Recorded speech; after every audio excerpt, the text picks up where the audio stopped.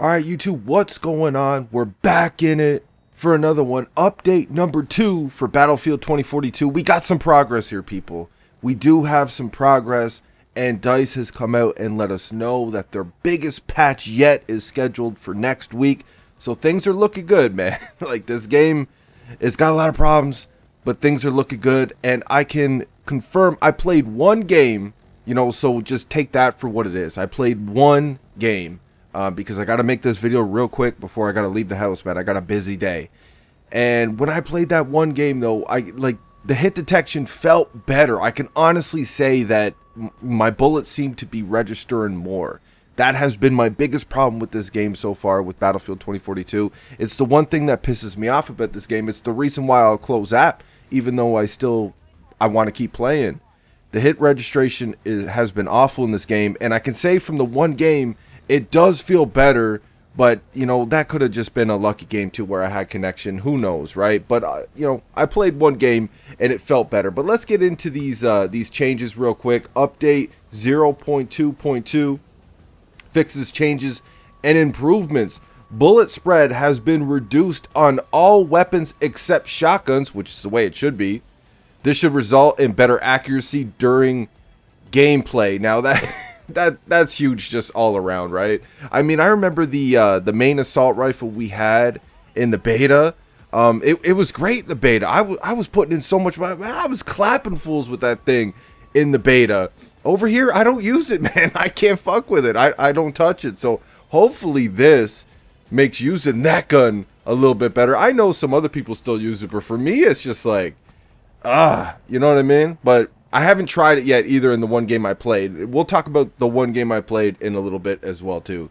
Increased PP29 vertical recoil to ensure that the weapon does not overperform when engaging outside of its intended combat range. Thank you. This is another one. Now see, the PP is so far has been the only gun that's actually has been really working for me, man. There's a couple other ones that I've been putting in some work with. But the P like in all out warfare, the PP is, is the go-to gun for me. You know, I've been sniping a lot over there. I find it really easy to snipe in Battlefield 2042. Plus, when I get sniped, all these dudes is holding down lines of sight, just chilling in the back of the map, camping the spawn. I switch to a sniper and I start just doming these motherfuckers, right? Like, the sniping I find is very easy in this game. But when I'm not sniping, or using an LMG, or using uh, one trying to rank up one of the assault rifles, my go-to gun is the PP. And I felt like it is a little bit too strong. It, it, was just like a laser beam. I was getting outgunned. Like I was trying to rank up like the AK-24 and shit, which has really terrible recoil. I was getting outgunned at good range by the PP. Dudes were just like, it felt like they were two-shot me. It, it was crazy, man. So it needed a nerf. It was my favorite gun to use, but it needed a nerf, man. We need more balance there. And I just, I really hope this whole you know, knocking back the uh, the recoil and shit all around with the uh, bullet spread. I hope that they actually really did something legitimate there, man. But anyways, let's get into the next change here. Resolved an issue where players who were killed close to obstacles such as walls or water were unable to be revived. Um, I honestly noticed that as well too, even when they weren't killed by walls and stuff. They would just be in like the middle of nowhere and you just, you can't res them and shit, man. You can't revive them. Uh, so that's another one that they need to look into. Next one, resolved instances where players were stuck in a down state and unable to respawn. We've also introduced a hidden timer that will activate after 30 seconds of being in a down state that will force a redeploy should it be required. Well, there you go, right? Uh, that also has been another problem, but they implemented another fix here just in case their original fix doesn't work. So they're listening. You know, obviously, with me playing the one game, I haven't experienced this yet, so I can't speak on if it's actually fixed or anything like that. I mean, they're coming out here and talking about it, right? Looks like it should be fixed. Let's move it on. The Nightbird mounted 20 millimeter cannons reduced blast radius size from 3 to 2, reduced inner blast radius damage from 1.5 to 0.75. Uh, I don't I, I like sometimes when you're going up against a god tier pilot and those things, it's really frustrating because even if you do get some damage on them with a lock on launcher, um, they'll just go, they'll fuck off for a little bit, they'll go and hide, wait until their their shit is fully repaired, and then they'll come in and just destroy the whole team again, man. When you're up against dudes like that, it's it's rough. But for me, I noticed trying to learn, especially to fly the Nightbird and shit like that, trying to get better at piloting choppers. You know, I'm noticing that it's uh, you're at a huge disadvantage for the most part, man. You got tanks locking onto you. You got the the uh, what is it? The Super Ho- Super Hokum, I think it's called. The Apache. You got that locking onto you. You got the jets locking onto you. You got everybody who's running lock-on launchers locking onto you. Plus, you got the tanks that don't have lock-ons that are just free frying it. Like it seems like you're just at a, such a disadvantage when you're in the sky for the most part in this game. But I don't know if it really needed that nerf. But it, it is what it is. Hey, man. Uh, you know, I'm I'm more in favor of things being balanced than crazy OP anyways. You know, we seen what it did to Modern Warfare 2 back in the day. So like, you know, I'd rather just a more balanced game. If that means it's more balanced, then a whatever. I was getting tons of hit markers before with the Nightbird. I guess I'm gonna get even more now. I don't know, man. But speaking of the Super Hokum, they also uh, reduced blast radius from 2 to 1.6, reduce blast damage from 20 to 14, reduce bullet damage before damage fall off starts 18 to 15 reduce damage fall off distance from 200 to 180 reduce bullet damage at max fall off damage from 8 to 6 increase bullet range and spread. All right so you know a, a kind of a big nerf there for the uh, the super hokum but uh tiny little buff there at the end too. So i mean hey like just take what you can get right? You know i don't really use that too too much. I have used it but i don't use it too too much. So i i, I can't really speak on that whether or not i feel like um, those nerfs were justified or anything like that. I feel like the nightbird i already got tons of hit markers with it. So i felt like it's not really necessary but hey it, it is what it is man. Let me know in the comment section if you think these were good changes for the uh, the super hokum and then we got the apache war chief reduce blast damage from 20 to 18 increase the damage fall off for enemies that that are further away from the bullet impact center. All right, so a couple changes there, uh, a little bit of a buff, a little bit of a nerf. We've reduced the overall damage of the minigun for all land vehicles. All right, I barely used them, man, but all right. Alongside bullet damage drop off, now starting earlier. So what they did there was reduce bullet damage before damage fall off and starts from 18. They moved it down to 13. Reduce damage fall off distance from 60 to 40. Reduce bullet damage at max fall off distance to 6. Holy shit.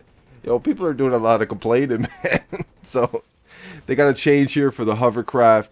Equip armor type for the LCAA hovercraft has been adjusted, which increases its vulnerability against different weapon types. So they got here Battlefield Portal UAV 1. The UAV 1 has been re-enabled with Battlefield Portal. Greatly reduced health regeneration delay and speed. Thank you, man. That that is huge. Like that is like thank you so much, Dice. That's a big one, man. Increased missile damage against vehicles and infantry. That's another one uh, that I I noticed like it, to the extreme, man. So I'm glad they looked at that. I'm glad they got a fix here for that, man. That was that's huge as well too. The drone is now able to roadkill enemies. All right, so there you go. People are getting their montage clips now, right, with the drone. Oh my goodness, but all right. So we finishing it up here. Breakthrough matches will now correctly end after the last sector has been captured. Uh, what about the fix here that just when you join the game, um, you can't do shit. You got to leave the game before. Like that only happens with Breakthrough too. I don't notice it happening with Conquest. What happened to that? we need a fix for that too, Dice. But anyways, uh, resolved an issue that caused players queued for a match in Battlefield Portal to be sent back to the main menu instead of joining the match when a slot became available. This actually happened to me so many times, man. I lost count. And it was so annoying too. Like you'd be sitting there, you'd be waiting, you're queued, you know, you're you're in second spot or something like that, and instead of jumping in, like you wait all that time. Like I see me sometimes wait like five to ten whole minutes, and then you know I think I'm getting ready to to be finally thrown into the game, and I'm just sitting there browsing around my phone while I'm waiting, and then I look up from my phone and I'm at the main menu again. like, what, like what happened, man? So I'm glad they fixed that. You know, progress here, people, progress. And the last bullet point they have made general improvements to stability to prevent rare occurrences of game crashing. So there you go. Um, you know, definitely some positive here. I don't agree with some of the nerfs that I've seen. Other nerfs that uh, you know I'm not really sure about, so I can't really speak on that. You know, um, but overall positive, man. They got some fixes here. Like I said, and I played the one game, and it felt like hit detection was better. But again, like that's not me saying it's better. you know, it's it's fixed, whatever. I only played one game, right? Like I said, it could have just been a lucky game. I had great connection, but I will say this: I found the game through the new playlist they have in the game now.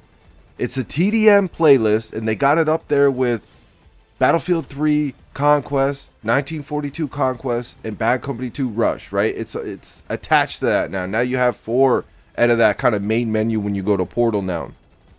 And it's beautiful, man. I hope it stays here. I hope it stays here until we moved on to the next battlefield, man. It's Bad Company 2 weapons versus Bad Battlefield 3 weapons on 2042 maps. Now I could I could change that a little bit and make it even more fun. I feel like, but I'll tell you what. I only played the one game. Oh my god, dude! I I was having a good time, man. I was I was having a good time. The game was it was running for the most part. Um, you know, it definitely seems like uh, it it just felt like a little crisper, man. I, I, you know I, I can't speak on whether or not all the problems are gone all that shit i highly doubt it they still got another big patch coming next week and shit like that all i'm gonna say is i played one game so far i'm definitely looking forward to playing a, a bunch of more games when i get home. And it just it felt more crisp right? It felt like my bullets were connecting man. What can i say? You know what i mean? This has been a huge problem with this game since it dropped. And it just I only played the one game, but it felt better, man. I know I sound like a broken record right now because I feel like I got to keep repeating that because some haters gonna jump in the comment section and start running their mouth, right? Like, eh, it's not fixed, but I played the one game, but it felt better in the one game. So we're definitely gonna test a little bit more when I get back. Let me know what you guys think of patch two in the comment section. Do you think it's good? Do you think it's bad? I want to hear it.